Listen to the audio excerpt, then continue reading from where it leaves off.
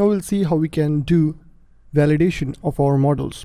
We'll be exploring the validate object that model class of Backbone.js has got and then we'll see how we can make use of is valid function and validation error property. So let's start with model validation.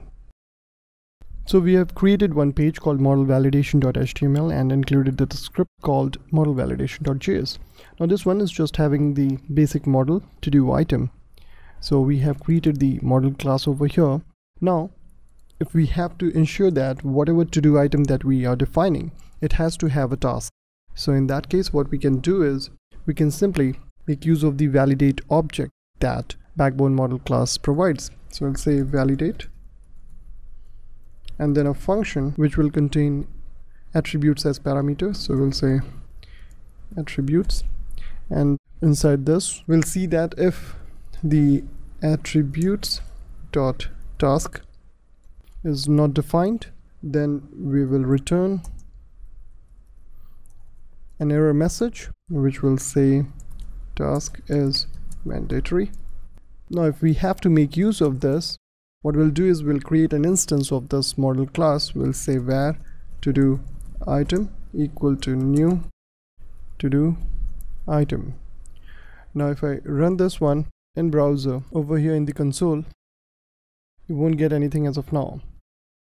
But if I say whether this model is valid or not to do that we can simply go ahead and say to do item dot is valid which is a function basically.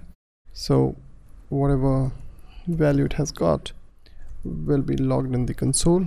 Now if I run this one you'll see it's coming as false. Now to make use of the validation error property we can simply go ahead and make use of the model instance over here itself to do item dot.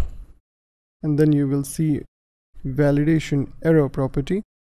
And here you can see that error message coming up. Task is mandatory. Now if we set the task over here for to do item we can do that by making use of the set method. So to do item dot set. And inside that we'll have the task attribute. And then we'll specify model validation. And close it over here semicolon. Now when we do this the validation object associated function will get executed. And as you can see now if I do to do item dot is valid over here it will return true because now the validation has passed. And similarly if I try to copy and paste this to do validation error over here it will return null because there is no validation error message so we can do the same over here. We'll simply go ahead and make use of the to do item dot set and then we'll say task colon model validation. And once that's done we can go ahead and just copy this line over here and see the valid zero not. And then whatever last error validation error message was there we can get that inside a variable. Let's call it error and then we'll make use of the to do item dot validation error property. So that gets assigned to the err variable and then we'll have console dot log and inside that we'll say and now we'll check this one out. So but the first one is false then task is mandatory. After that when we are setting the task attribute. It becomes true and the validation error has gone. So that way we can have validation logic inbuilt in our model classes itself